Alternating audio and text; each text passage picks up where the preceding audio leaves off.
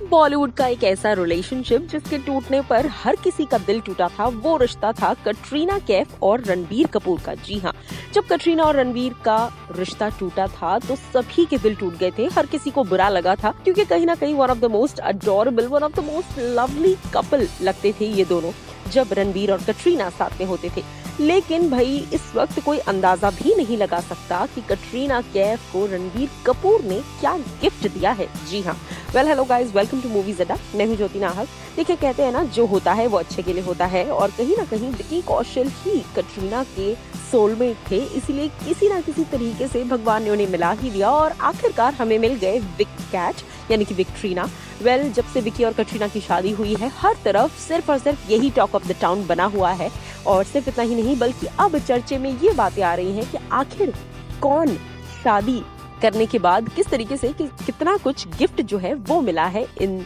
इस कपल को। तो आपको बता दूँ कि रणबीर कपूर ने क्या कुछ गिफ्ट दिया है कटरीना को। जी हाँ सुनने में भले ही अटपटा लगे, लेकिन कहीं ना कहीं अपनी विशिंग्स के तौर पर, अपनी बेस्ट विशेष उन्होंने बिग कैट को दे दी है ऑलरेडी और एज अ गिफ्ट और as a gift Ranbir Kapoor ने बड़े ही सरप्राइजिंगली 2.7 करोड़ जी हाँ नेकलेस गिफ्ट किया है। एक नेकलेस कटरीना कैफ को उन्होंने डायमंड का दिया है which which is worth 2.7 crore and that is a whopping amount and definitely इस तरह का गिफ्ट कटरीना को मिलना वो भी रणबीर की तरफ़ से काफ़ी स्पेशल हो जाता है। वेल well, कहीं ना कहीं अब ऐसा लग रहा है कि रणबीर और कटरीना एक हैप्पी नोट पर है और बहुत ही खुशी से उन्होंने विकी और कटरीना की शादी में उन्हें विश किया है। वेल well, आपको क्या है कहना है इस पर बताइएगा ज़रूर हमें कॉमेंट सेक्शन में।